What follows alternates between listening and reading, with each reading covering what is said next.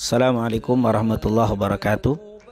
Tidak mengherankan bila akhir-akhir ini banyak di antara para ulama, kiai dan asatid, baik dari golongan habaib dan lainnya, yang menganjurkan kepada kita untuk membaca dan mendawamkan ratib al-haddad. Sebab ratib adalah susunan dikir-dikir yang berasal dari Al-Quran dan hadis serta doa-doa yang langsung disusun oleh Al-Habib Abdullah bin Alwi Al-Haddad. Beliau adalah seorang ulama yang tidak diragukan keilmuannya, yang memiliki sifat zuhud, warok serta kebersihan hati yang luar biasa. Beliau dilahirkan di kampung Syubair, kota Tarim Hadramut Yaman.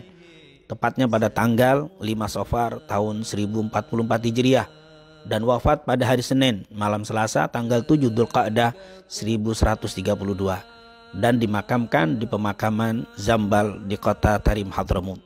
Rotib ini disusun oleh Al-Habib Abdullah pada hari Kamis malam Jumat tepatnya tanggal 27 Ramadan tahun 1071 Hijriah karena memenuhi permintaan salah seorang muridnya yang bernama Amir dari keluarga Bani Sa'ad yang tinggal di Shibam, salah satu perkampungan di Hadramut Yaman. Adapun alasan permintaan itu untuk melindungi agar mereka dapat mempertahankan dan menyelamatkan diri dari ajaran sesat yang sedang melanda kota Hadramut saat itu. Pertama-tama, rotib ini hanya dibaca di perkampungan Amir sendiri, yaitu di kota Shibam. Kemudian, lama-kelamaan menyebar dan dibaca di Masjid Al-Hawi milik Al-Habib Abdullah ibn Alwi Al-Haddad di kota Tarim. Setelah Al-Habib Abdullah bin Alwi Al-Haddad menunaikan ibadah haji, maka rotib ini dikenal dan menyebar di kota Mekah dan Madinah, bahkan dibaca di kedua wilayah yang mulia tersebut wilayah Al-Haramain di masa itu. Biasanya rotib ini dibaca setelah salat maghrib atau setelah salat isya.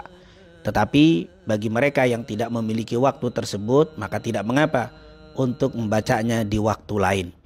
Banyak kita dapati para ulama yang telah mengamalkan dan mendawamkan Rotib Al-Habib Abdullah bin Haddad ini berbagai macam khasiat baik hisiah dan maknawiyah, dohir dan batin. Dan memang bila kita memperhatikan isi dan dikir-dikir yang terdapat dalam rotib Al-Habib Abdullah bin Al-Haddad banyak sekali faedah dan keutamaannya. Di antaranya dijaga dari godaan syaitan dan dihindarkan dari berbagai hal yang tidak baik, baik yang terlihat atau yang tidak terlihat. Hal ini dapat kita lihat dari bacaan ayat kursi dan dua ayat terakhir dari suratul Baqarah. Yang kedua, dapat memberatkan timbangan dan mendatangkan begitu banyak pahala. Hal ini dapat kita lihat dari bacaan la ilaha illallah wahdahu la syarika lahul mulku wa hamdu yuhyi wa yumit wa huwa ala kulli syai'in qadir. Begitu juga subhanallah walhamdulillah wa la ilaha illallah wallahu akbar. Begitu juga subhanallah wa bihamdi subhanallahil azim. Yang ketiga, dengan membaca ratib Al-Habib Abdullah Al-Haddad mendapatkan ampunan dari Allah. Hal ini dapat kita lihat karena banyaknya istighfar di dalam ratib ini. Seperti Rabbana ghfir lana wa tub alaina innaka antat tawwabur rahim. Amanna billahi wal yawmil akhir tubna ilallahi batinan wa zahira.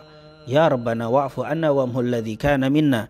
Astaghfirullah rabbal baraya astaghfirullah minal khataya. Yang keempat, mendatangkan rahmat dan syafaat Rasul sallallahu alaihi. Hal ini dapat dilihat dari adanya salawat kepada Nabi Muhammad wasallam. Allahumma salli ala sayyidina Muhammad wa ala ali sayyidina Muhammad. Yang kelima, dengan baca ratib dapat dijaga iman dan dimeninggalkan dalam keadaan husnul khatimah. Hal ini dapat dilihat dari banyaknya kalimat yang diulang-ulang dari kalimat dikir Rasul sallallahu alaihi wasallam yaitu ya dzal jalali wal ikram amitna ala dinil Islam. Juga kalimat la ilaha illallah yang dibaca puluhan kali. Ini merupakan amalan yang bisa mendatangkan terjaganya iman, diperbaharui iman dan dimeninggalkan dalam keadaan husnul khatimah. Yang keenam dihindarkan dari kedoliman dari orang-orang yang berlaku zalim. Hal ini dapat kita lihat dari kalimat ya qawiyyu ya matin ikfina syarrad zalimin. Bahkan yang ketujuh akan mendatangkan manfaat bagi mereka yang baca ratib ini yaitu kebaikan untuk kaum muslimin secara umum bukan hanya yang membacanya tapi yang tidak membacanya pun dapat imbas kebaikan dari bacaan ratib Al-Habib Abdullah Al-Haddad ini. Sebagai bacaan aslahallah umaral muslimin sarrafallahu syarral mu'din dan yang terakhir ratib ini dapat menjadi benteng dari berbagai macam bala musibah dan bencana Ini tentunya bisa kita lihat dari kalimat a'udzu bikalimatillahi tammah min syarri ma khalaq. Bismillahi fil ardi wala fis sama wa huwas samiul alim. Oleh karena itu, baru kita mengetahui alasan mengapa para ulama, guru dan asatid menganjurkan kepada kita untuk tidak meninggalkan pembacaan rotib Al-Habib Abdullah bin Alul Haddad ini terlebih di masa yang sedang menyebarnya bala dan banyaknya kedoliman yang terjadi di masa sekarang.